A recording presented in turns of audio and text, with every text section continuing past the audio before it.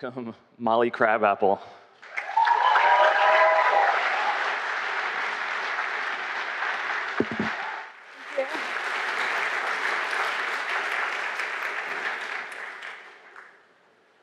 I'll start by telling a myth. In the bad old days, there were gatekeepers.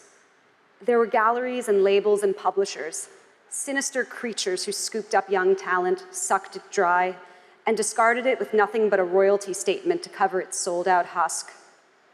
Gatekeepers were exploitive and uncaring. They drank highballs at old boys' clubs. They trampled on the connection between artists and fans. The gatekeepers, the myth goes, are dying. They've been slain by the sword of the internet. And now, armed with the tools of the network, we artists can storm the gates. It's a good myth. For a long time, it's one I uncritically believed. I believed it because I was one of the network's success stories. I was a dropout who, for a decade, hustled out a living in the good and bad corners of the internet. I'd used every online tool and every bit of blood in my body and at the end of everything, I got art's holy grail. Without the approval of any institutions or gatekeepers, I got to fly around the world painting pictures. I was always a hustler, and in a network society, hustlers win. Hustling has always been the mode of life for people outside the power structure, but those who want it in. You hustle because there is a giant wall in front of you, and you will bash yourself bloody until you get to the other side of it or die trying you will not consign yourself to the role society has for you. Hustling is the opposite of keeping your head down, working for the man, and being content. But the role of the hustler becomes a trap when there's no possibility for contentment, when there are no good jobs working for the man. Aided by the technologies that promise to liberate us, traditional social safety nets and decent jobs have been destroyed. This is true for artists, but it's true for everyone. In America now, we must hustle or die. Before I talk about the new world for artists, I want to talk about the old.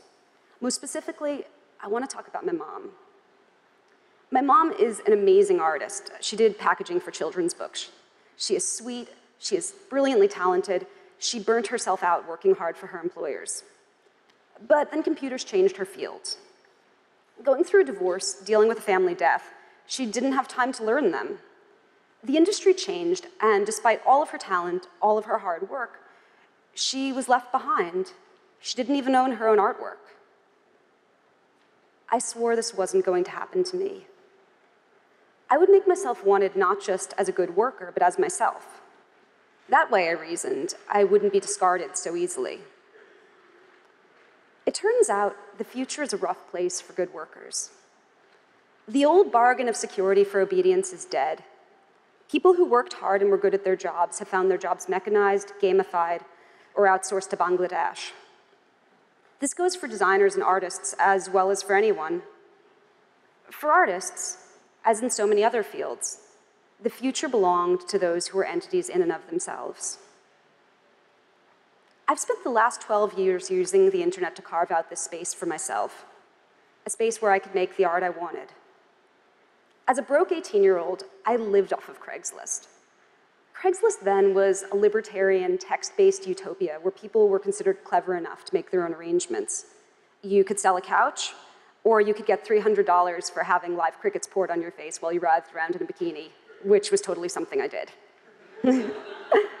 Craigslist was my first social network. It gave me my first jobs, my first art jobs, and the naked girl jobs that sustained me while I got to be good at art.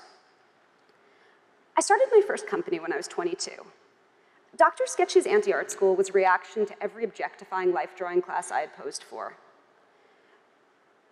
Instead, models would be underground performers that were celebrated, that were glamorous, that were these amazing muse personas. When I spammed LiveJournal communities, you can tell this is back in the day, about my little drawing class, it exploded across the world.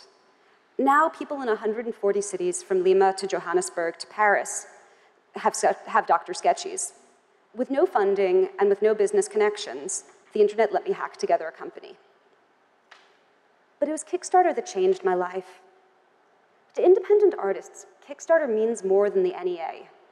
It let our ambitions match those of people with galleries and people with rich fathers. It said that Kickstarter, or the network as a whole, is only good for people who are good at self promotion. But self promotion has always been cheaper than, any, than an MFA. Kickstarter took me from survival thinking to being able to contemplate art for art's sake. My last show, Shell Game, was a giant tribute to 2011 spread across nine six foot tall canvases. It opened riotously in New York. It took me a year to paint at 14 hour days where I would devolve into a feral paint beast. And it was made possible with Kickstarter. The gallery system never wanted me. But even if they had, there's no way I could have worked according to the gallery model. No way I could have painted for a year, unpaid, with my fingers crossed that all those paintings would sell at the end of it. I'm a former professional naked girl with no degree and a clinically diagnosed case of oppositional defiant disorder, and yet I'm here. That, mean I, that means I won the network. Perhaps not coincidentally, I believe the internet is still the greatest hope for art in America. The comedian Jamie Kilstein recently tweeted, You can't even make money by selling out. You just sell out to sell out. Kilstein was drummed out of mainstream comedy because he didn't think rape jokes were cool. Because of the network, he still has amazing, successful DIY tours and has a super popular podcast and gets to make a living. Sexist gatekeepers be damned. When I see artists like Jamie defying institutions and thriving, I grin hard because I don't believe that pleasing power should be a prerequisite for making a living doing what you love. Gulping down espresso with Cory Doctorow this morning, he spoke to me about how the network gave creators the chance to wring better deals out of institutions. With the network, there is always another option. The network, at its best, supports projects like Stop Telling Women to Smile, where the street artist Faz travels the country wheat pasting anti sexual harassment posters. It opens hacker spaces in Baghdad. It funds the defense of embattled journalists like Barrett Brown. Sex workers in Mumbai use it to talk back to racist documentarians who thought they were voiceless. It lets depressed kids who defiantly dream of being artists reach out to their favorite creators and get hope. But are the gatekeepers really dead? Well, it may be easier than ever for artists to publish. That work still requires time and often expensive materials to make. And artists are still flesh and blood beings who exist in a capitalist world with rent bills and medical bills. Artists may be able to bypass the publishers, galleries, and labels who once snubbed them, but the gatekeeper now is money. My favorite art history teacher was an Iraqi refugee who worked as a security guard at the Met. One day, he asked the class what made a city an artistic capital. We said a bunch of things like cafe society or big ideas or smart people. Nah, it wasn't that. Money, it was money. Money to support the art. Rebellious freedom is inextricably wed to capital. Conversely, poverty stifles art. Without money, you're too exhausted by your day job to work to your full potential. You can't afford the help or the materials you need to make work that is as good as you're capable of. A society where the price of striking out on your own is potentially dying of an illness you can't afford to treat is one where mostly trust fund kids get to sing and paint for a living. The gatekeepers demonized for exploiting artists also invested massive quantities of money in those artists' successes. Now, the social media companies that we use to promote our work and whose platforms we attract fans to have no corresponding interest. The great irony of the network is that the companies who let us express our whole humanity only care about us as clicks, eyeballs, and fingers. The new networked world, attention is supposed to be currency. But on most sites, hard currency flows only to the top. Artists are expected to live in a Gnostic world of likes and reblogs. Just as technology threw open the gates for artists, it devalued our work.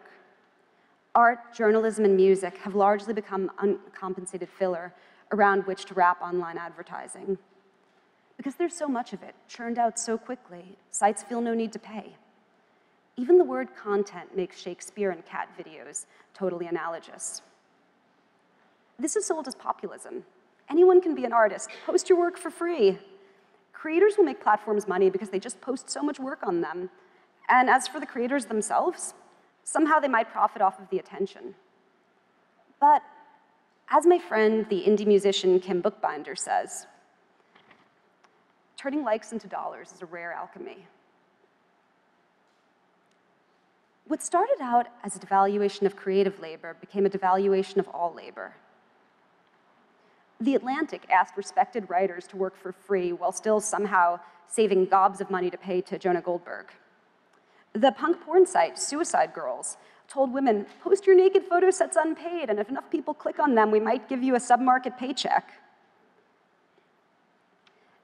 Gamification combined with slashed social safety nets and disappearing middle class jobs to create things like mechanical turking, where you can do the work that computers don't want to do for pennies. Or Lyft, where you can turn your car into a cab, but instead of a fare, you get a donation. In the networked utopia, no work has intrinsic value except the work of building and maintaining the network itself. And what's the problem with this, you might ask? I mean, creators, they, they willingly work for free. Won't the best work, given exposure, just ride to the top? Won't the crowd discover you just as curators were once supposed to? If you're just good enough? Well, yes and no. You see, the crowd is a far more diverse and egalitarian judge than eight dudes from New York who went to Yale. You are more likely to find your audience amongst hundreds of millions of people than a grant committee or the board of a gallery. But the type of art you're able to create in the first place is intrinsically linked with how much money you have. And this is something that platforms like Kickstarter mitigate, and they do help with so much, but they cannot erase it.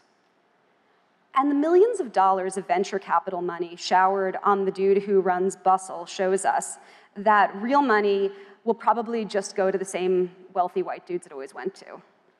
Money begets money, it did in the old world, and unfortunately, it still does on the network. I know this from experience. Every dollar I clawed, whether it was from modeling or an early gig drawing naked dudes for Playgirl, served to amplify my advantages. My last big art show, Shell Game, the one I funded on Kickstarter, would have been impossible without the money and the network of contacts I'd spent a decade building. I never could have hauled those massive slabs of wood up the stairs of my fifth floor rat-infested walk-up that I once lived in. I never could have painted them in the lightless room I once shared with three roommates divided up by shower curtains. Without an assistant, I never would have had time to paint that show. And without sponsors, I never could have afforded the paint. Sometimes curators look at my work and they say, why didn't you ever paint like that before? I'd answer, because no one ever gave me enough money to be able to. A decade of practice honed my talent. The cash let me express it. To pretend otherwise is to spit in the face of every single broke genius who can't afford materials or time. It's to say, hey, I just got here because I'm better than you. And I am good, but it was never about that. In the future, where all but the most elite artists lack institutional support, artists must take on the financial burdens and logistical tasks that institutions once dealt with. Artists are becoming companies, but they don't have any of the startup capital or resources companies have. On one hand, this is massively freeing. You can just say, fuck the man, I'm doing what I wanted. On the other, you win if you have startup capital provided by your dad. To the rich kids go the spoils. Take music. Record labels, they're so evil. They're evil reptiles. But since their fall, charts have gone from domination by working class kids to ones born into wealth. Brett Anderson, the frontman for the band Suede, said in a recent interview, because the price of getting heard has risen and the music industry has been hurt, it's becoming a hobby of public schoolboys. That, that's British, by the way, for kids who went to Eton. It's tragic.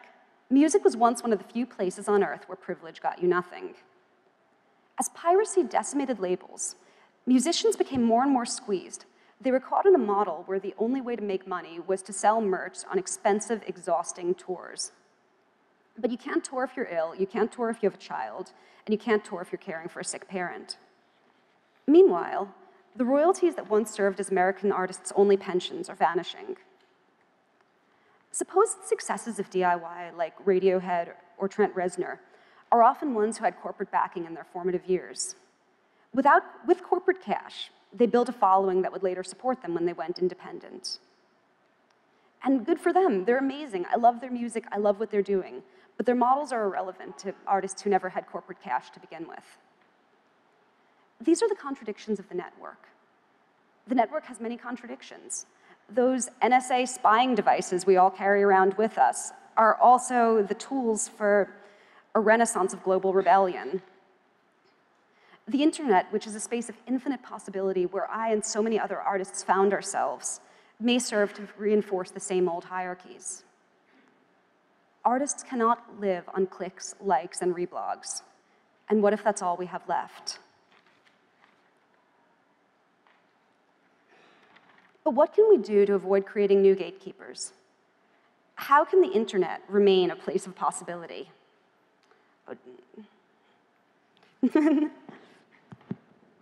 Dude, I dropped, my, I dropped my speech. How can the internet remain a place of possibility? First, we must resist anyone who tells us it's not important for creators to get paid. Do it for exposure are the words of a digital Marie Antoinette. If you own a platform, pay the people who work for it. Pay your creators. And if you are a creator, do not work for large corporations for free. When corporations profit off of unpaid creative labor, they are creating a world where only rich kids get to work creatively. Second, resist attempts to redraw old hierarchies. I have a verified Twitter account, which I love. One morning, I was logged in, and I saw it was possible to only read replies from similarly blue-checked accounts. What clearer way in the world is there to say that if you do not have brand affiliation or a famous name, you are worth being tuned out? Third, profit share. My friend, the photographer Clayton Cubitt, often says that companies that offer users only followers and likes are begging to be disrupted by companies that offer users likes, followers, and also money. The old model, where companies just reblog and retweet the, invest, the art that was made on old media, it's not sustainable. But the fourth thing, and this is the most important thing, is we must realize that life on the network is not separable from life off the network. If we want the network to truly defeat old hierarchies, we have to struggle for a juster world offline. The network can make our lives richer and more beautiful, more connected, more informed. It cannot build roads, staff hospitals, or create a humane economy. That's for society to do. We see what happens when the network addresses the needs of society with sites like GoFundMe. GoFundMe is a site where people whose lives are being wrecked by poverty and serious illness post photos of their chemo setups and say, please give me enough money so I don't die. I'm happy that the network is there to help them, but it shouldn't have to.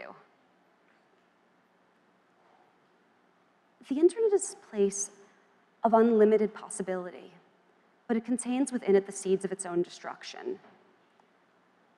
We have the key to a whole new world. We don't want to rebuild the old one. And it's up to us. Thank you.